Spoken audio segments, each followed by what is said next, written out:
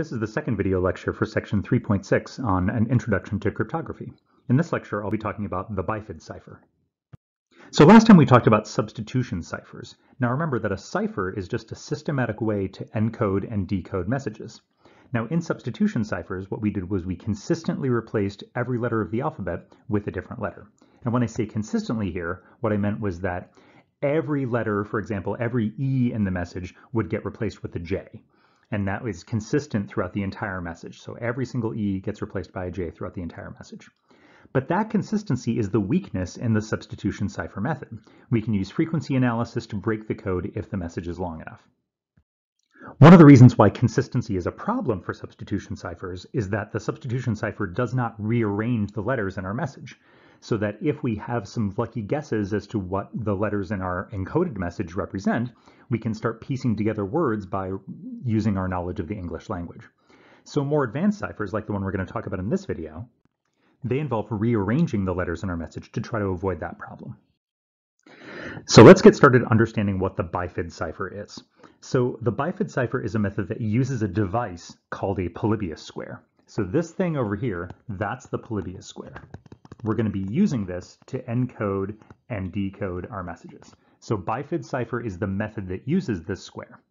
And what's this square going to do? Well, we're going to put the alphabet into that grid. Now you might notice that there's only 25 spaces. There's five rows and five columns. Five times five is 25. So we don't actually have room for our entire alphabet. So what we're going to do is we're going to cheat a little bit. We're going to get rid of the letter J. And if our message happened to have any J's in it, we'll just replace those with the letter I. We need to find a way to fit all 26 letters into this grid, so that's how we're going to do it. Now, most messages don't contain the letter J. It's a pretty rare letter in the English language. And even if it does, when we decode our message and we see an I in place of a J, the message will still be pretty readable. Okay, so the first step is to fill in this square. And so the easiest way to fill in the square is to just use the regular order of the alphabet, right? So we start with A in the upper left-hand corner, and we just go across each row, filling in the letters of the alphabet. Remember, notice here that I'm skipping over J, right? I go directly from I to K, and then all the way to Z in the bottom right-hand corner. But if we want an extra layer of security, we can actually use a keyword to fill in the square rather than just using the alphabet in order. So for example, let's say we wanted to use the keyword confidential. All right, so what I'm going to do is I'm going to, over here on the side, I'm going to write out the alphabet because I want to keep track of which letters I've used, right? So actually, I'm not going to use J, right? We're skipping over J. K, L, M.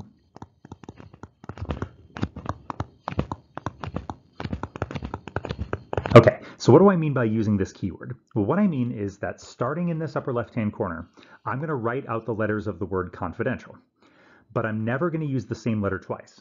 So once C-O-N, F-I-D-E. All right, now there's another N, right? I'm up to this place in my keyword, but I've already got N in my grid, right? I've used C, I've used O, N, F, I, D, and E. I don't want to have a second N in my grid. I just want to have every letter of my alphabet except for J exactly once. So I'm going to skip over that N and go to the letter T. Now I've got another I, but I already have I. I already exists in my square, so I'm going to skip that as well. So I'm going to go A and then L. And again, I'm crossing out the letters that I've used up here so that I don't accidentally use the same letter twice. Now, in addition to the letters that I've crossed out, now I'm going to fill in the remaining letters in order. So the first letter of my alphabet that I haven't used yet is B, so I'm going to fill that in the beginning of the next row. So B, G, H, and I'm just going through the alphabet that I haven't used yet. Next I've got KM, PQR. Right, I shouldn't ever get to the end and have letters left over. So then I've got S, U, V, W, X, Y, and Z. So no matter how you do this, whether you just use the alphabet in order or whether you use a keyword like we did here, eventually what you'll get is one of these Polybius squares with the alphabet filled in, again, missing the letter J. Okay, so now what do we do with the Polybius square? Well, before we actually use the square, for this to work, as we're going to see, we need to know that our message has an even number of letters. So we have to count up the number of letters in the message that we're trying to encode and make sure that the number of letters is even. Now, if it's not, then we have to add an extra letter at the end. Usually we'll add the letter X just because, again, X is going to be sort of a dummy character. It's not going to mean anything. And so when we decode our message and we see an X at the end, we're going to know, oh, they needed to put that X there to make sure that there was an even number of letters. So if we wanted to encode the message, let's say the word retreat, that has seven letters. And since that seven is odd, we need to add an X to the end. So if we decoded our message and we saw that the message was retreat X, we know that the real message is retreat and the X was just put there just to make sure that there was an even number of letters. Okay, now is where the square comes in. So what we're going to do is we're going to take every message in our, uh, every letter in our message and we're going to look it up in our square. So for example, the first letter of our message retreat is the letter R. We find that in our table. It's in row four and column. So the rows go across, right? So these are the row numbers, one, two, three, four, and five down here. These are the row numbers. And these up here, these are the column numbers. And we always go row and then column. The row number first, column number second. Okay, so now what we're going to do is we're going to write those numbers vertically on top of each other. So here's my message, Again, retreat with an X at the end. And again, you'll see in a minute why the X at the end has to be there, why we need to have an even number of letters. And then we take the next letter, E, lives here. It's in row 2, column 2. So we write 2, 2. T is in row 2, column 3. That's where the T is. So row 2, column 3. R is in row 4, column 3 again. So we do have some consistency here, right? R is always going to give me a 4 and a 3, but as you'll see, that's actually not going to be too much of a weakness here. E is 2, 2 again. A is over here in row 2, column 4.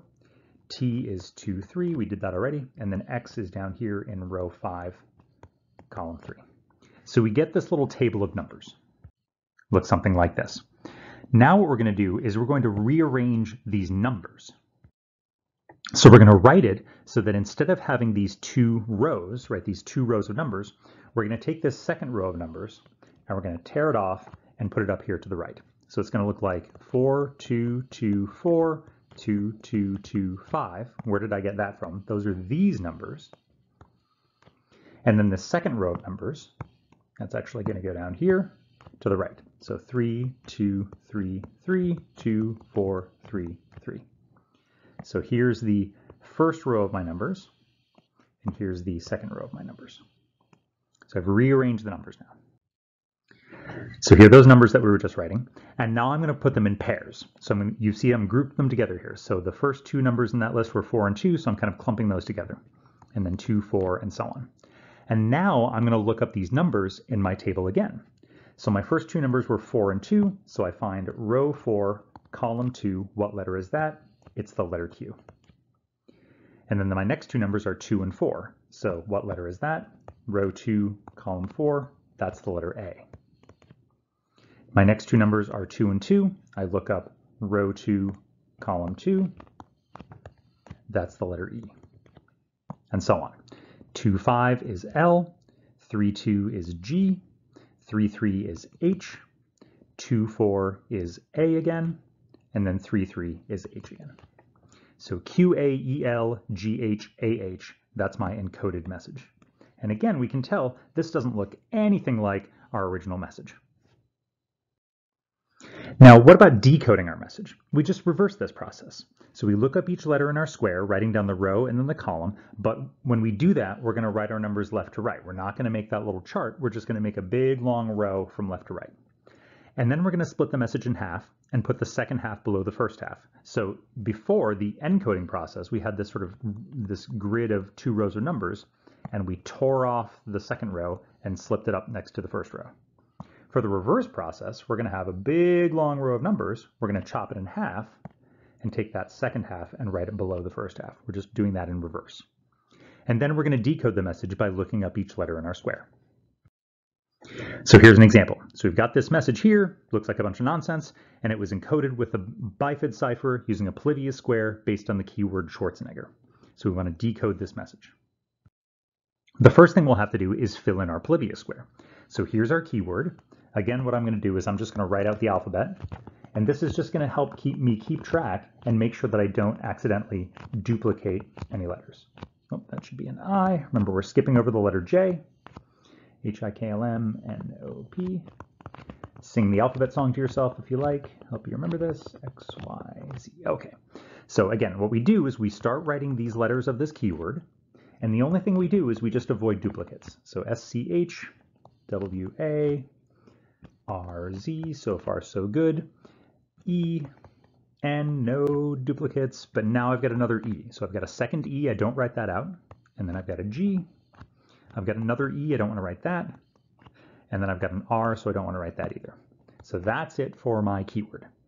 And now whatever letters of my alphabet I didn't use, I fill those in in the normal order. So I used A, I used E, I used S, I used G, N, W, Z, R, see what else did I use? C, H, I think that's it. Yep, okay. So now we start with the letter B. So B, D, F, what am I doing? Right, I'm just taking the letters that I didn't use and fill those in. I, K, L, M, N, O, nope, not N, we already had N, get out of there. O, P, Q, T, U, V, X, Y. And again, you know that you did it right when you get to the end and you're out of letters in your alphabet, right? I've used up the entire alphabet except for J, and I don't have any empty spaces in my square. If you get to the end and you still have some empty spaces, or you've used a letter multiple times, you mess something up and you gotta go back and fix it. Okay, so now that we've got our square all set up, now we've got to look up all the letters in our message. So we're going to take this message, and I'm just going to do the first several letters for you here. But S, A, W, A, B, T, B, K, K, S, T, V, L, A, A, A. Squeeze it in there. So I'm going to look up my S in my chart. Where is S? Well, it's in row 1, column 1. So I'm going to write out the numbers 1, 1. And then I'm going to find A. Where's A? It's over here, row 1, column 5. So I write 1, 5. Where's my W? Well, that's in row 1, column 4. A is 1, 1. Where's B? B is down here in row 3, column 1, and so on. So I'm going to write this out in a big long list going left to right. That list ends up looking like this. So here are my numbers. And now what I'm going to do is split this in half. Now, because it's a big long list of numbers, and I don't necessarily, I might try to sort of guesstimate it and eyeball it, but I want to make sure I have the exact halfway point. So I'm going to count how many pairs of numbers I have. So I've got 1, 2, 3, 4, 5, 6, 7, 8, 9, 10, 11, 12, 13, 14, 15, 16. This has to be an even number. This is where the even number thing comes in. So I've got 16 pairs of numbers. So after pair number 8, so 1, 2, 3, 4, 5, 6, 7, 8, half of 16 is 8, that's where I'm going to chop my message in half. And this second half is going to go underneath the first half. So I write out my first half of numbers, 1, 1, 1, 5, 1, 4, 1, 5, 3, 1, 5, 1, 3, 1, 3, 5, and underneath that, I write the second list of numbers, and I want to line them up. So 3, 5, 1, 1, 5, 1, 5, 3, 4, 1, 1, 5, 1, 5, 1, 5. And now, as I'm reversing this process, now I'm going to think of the numbers in pairs like this. So that's how I'm going to now look up the numbers in my table to recover the original message. Okay, so here's my uh, group of numbers that I had from the previous slide. Now I'm just going to start looking them up. So now I've got the pair of numbers 1, 3. Remember, that's row 1, column 3. That's the letter H. So H is the first letter in my original message. 1, 5, what's that? Well, row 1, column 5, that's A. So I've got an A. Then I've got 1, 1, S. And then 5, 1, down here, column 5, row 5, column 1, T, row 1, column 5, A, and if you're a fan of Schwarzenegger movies, you probably know what the rest of this message is going to be. And it's hasta la vista, baby. So again, we can put in the spaces, even though those have been removed, because we can read the message and understand what's going on. Okay, so the Bifid cipher has a lot of steps, but these steps provide layers of security that make this much harder to break than the substitution methods that we talked about in the previous lecture. The BiFID cipher relies on arranging and rearranging the pieces of our message. And in the next section, we're going to learn about how we can use mathematical calculations to encode and decode messages in a more secure way.